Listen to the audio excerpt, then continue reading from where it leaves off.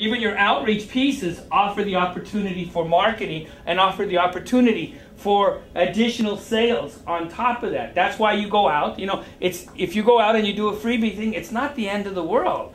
You know, it's actually a good thing because you have the opportunity. It doesn't always have to be about money, of building a relationship that will later on generate something for you. It's a way of, it's a, it's a formula for not to burn out. Right. And to keep, you know, the old In the phrase, to keep the eyes on the prize.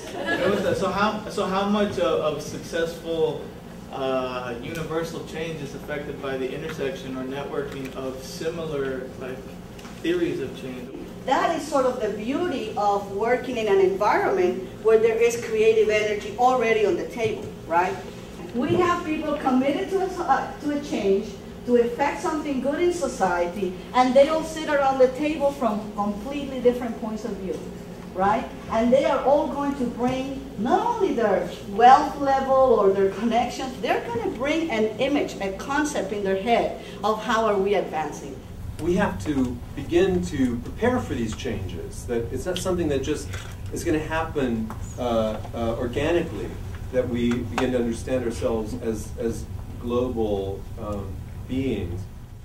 One of the best things that happens to me when I'm asked to speak in front of um, Latino arts organizations, and especially something as specific as uh, NALAC, is that I get a chance to see artists that I've grown up with, artists that uh, I've aspired to be like, artists who are right in here and now creating very relevant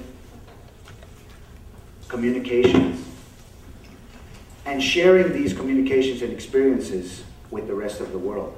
Um, as the local visual arts representative of uh, our 2007 class, uh, NALAC Leadership Institute, um, I'd like to take this opportunity to present NALAC with these two works of art that we created last night. Actually, it was planned earlier in the week and it worked out perfectly. And so they're for the new space that you guys are going to be moving into next door.